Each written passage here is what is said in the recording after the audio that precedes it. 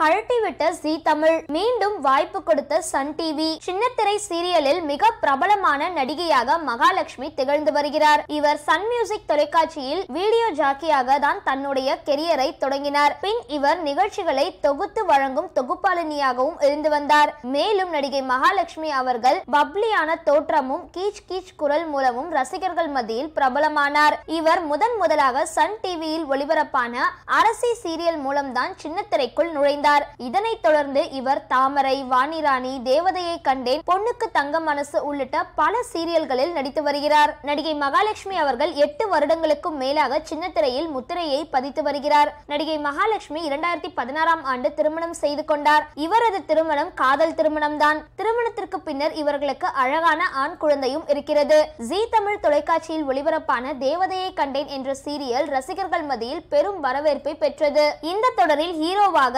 ஈஸ்வரும் வில்லியாக மகாலட்சுமியும் நடித்து வருகின்றனர். இந்த தேவதையை கண்டேன் சீரியல் மூலம் மகாலட்சுமிக்கும் ஈஸ்வருக்கும் கள்ள தொடர்பு இருக்கிறது என்று ஈஸ்வர் மனைவி ஜெய்ஷி போலீசில் புகார் அளித்து இருந்தார் இது சின்னத்திரை வட்டாரத்தில் பயங்கர பரபரப்பை ஏற்படுத்தியது. இது அனைவருக்கும் தெரிந்த ஒன்றே. இந்த பிரச்சனையால் தேவதையை கண்டேன் சீரியல் தற்பொழுது முடிய போகிறது என்ற தகவல் சமூக வலைதளங்களில் பரவி வருகிறது. அது மட்டும் இல்லாமல் சின்னத்திரை நடிகர் சங்கத்தில் இருந்து நடிகை மகாலட்சுமியை நீக்க போகிறார்கள் என்று சின்னத்திரை வட்டாரத்தில் கிசுகிசுக்கப்பட்டது இந்த நிலையில் சன் டிவியில் ஒளிபரப்பாக போகும் சித்தி டூ என்ற சீரியலில் நடிகை மகாலட்சுமி நடிக்க உள்ளார் என்ற தகவல் வெளியாகியுள்ளது.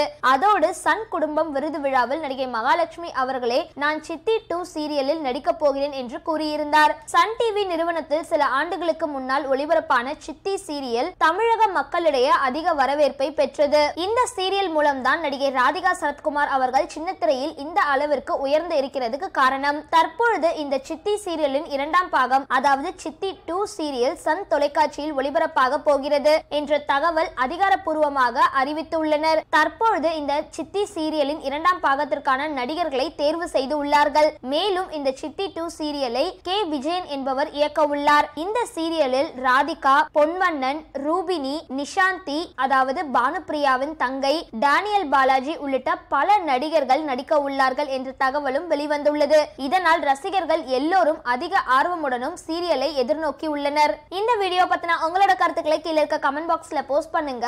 இந்த வீடியோவை லைக் பண்ணுங்க ஷேர் பண்ணுங்க. மறக்காம பக்கா டிவியை சப்ஸ்கிரைப் பண்ணுங்க.